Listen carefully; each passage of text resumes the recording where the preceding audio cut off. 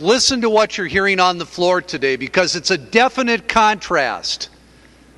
It's a definite contrast between the party that wants to help boost our economy, help boost our job creators, and the party that likes to use well pulled terminology to try to play out class warfare.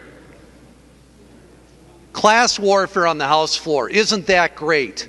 You talk about class warfare, Representative Gottwalt.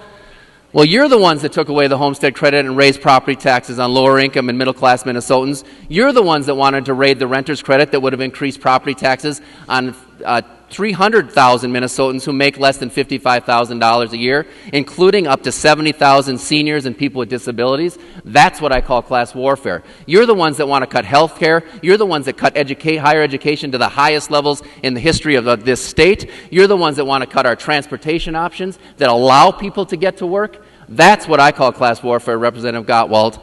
And you're the ones that attack Minnesotans' wor- working, the rights of working people to better themselves over and over and over again. That has been your mantra in this body since day one. That is class warfare, Representative Gottwalt. And I know you're smiling because you think the only class that you care about are big corporations. That's what you said on the House floor, and more power to you. At the bottom of the, at the end of the day, Representative Davids has called this a smoking hot tax bill. Well, it's smoking hot only because it's going to be burning a hole in our state budget. It's smoking hot only because it's going to be burning the middle class and farmers and small businesses all across this state. That's your smoking hot tax bill, Representative Davids. We should vote no on these misplaced priorities. Then we can see if we can find a way to actually work together to come up with something that's going to work for the state of Minnesota.